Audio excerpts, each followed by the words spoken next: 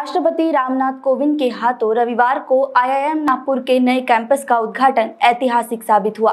भीषण गर्मी को देखते हुए माना जा रहा था कि राष्ट्रपति परिसर में पहुँचने के बाद सीधे मंच पर आएँगे, लेकिन उन्होंने गर्मी की परवाह न करते हुए संस्थान के परिसर का अवलोकन किया।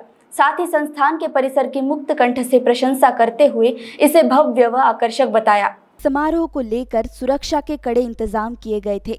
साथ ही चुनिंदा लोगों को ही समारोह के लिए आमंत्रित किया गया था। प्रवेश द्वार पर राष्ट्रपति के हाथों शिलान्यास किया गया। इसके बाद वहाँ उपस्थित पदाधिकारी, नेताओं को राष्ट्रपति की अध्ययनशीलता का अनुभव करने को मिला। प्रोटोकॉल के तहत राष्ट्रपति कार्यालय के पास आईआईएम की पूरी जानकारी पहले ही भेज दी गई थी, लेकिन प्रत्यक्ष कैंपस में पहुँचने के बाद उन्होंने खुद से सारी जानकारी हासिल की। आईआईएम नागपुर के निदेशक डॉक्टर भीमराया, मंत्री व केंद्रीय मंत्री नितिन गडकरी से उन्होंने आईआईएम के मॉडल की जानकारी ली। यह भी जाना कि शिक्षक और विद्यार्थियों को इसका क्या लाभ होगा? कैंपस कैसे इको फ्रेंडली है? साथ ही दूसरे फ़ेज़ में और कौन से काम होने हैं? व भविष्य की योजनाओं की पूरी जानकारी ली।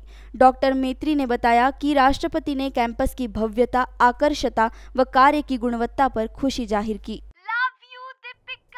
बाय सब जानना चाहते हैं।